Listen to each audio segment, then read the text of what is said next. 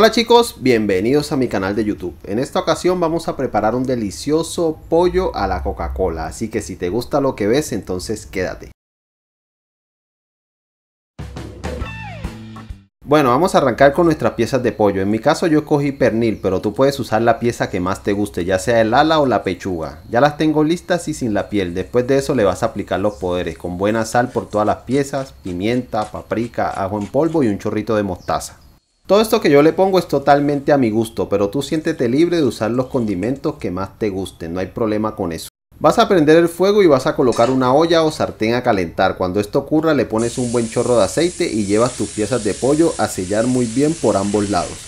La técnica infalible para que nada se te pegue, ya sea que el utensilio sea de teflón o no, es calentar muy bien antes de colocar el aceite y lo que sea que vayamos a cocinar. Esto te ayuda obviamente a que ninguna cosa se te pegue y además te deja un buen sellado que aporta muchísimo al sabor final.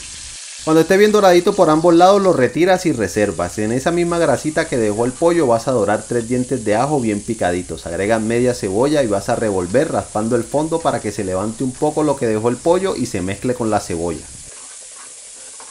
Cuando esta haya agarrado un buen color le pones un cuarto de taza de salsa de soya que te va a ayudar a desglasar. Le agregan media taza de salsa de tomate o como la conocen en otros países ketchup. Mezclas para que se integre bien todo y devuelves el pollo con todo y sus jugos.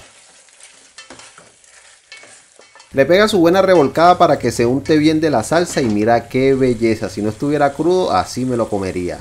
Y después de todo eso entra la vedette de esta receta, la que le va a aportar todo el sabor. Cubre ligeramente el pollo con la gaseosa, distribuye muy bien, deja que rompa hervor y ahora sí vas a dejar cocinar hasta obtener el punto deseado.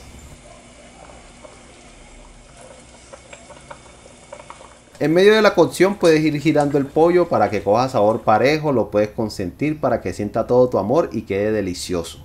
Y puedes estar chequeando la salsita que poco a poco va cogiendo textura. Cuando veas que el pollo está completamente cocido, jugoso, en su punto, con un buen color y brillo, lo dejas, chequeas que la salsa esté justo como la quieres y en ese preciso momento estamos ready. ¡Qué ricura!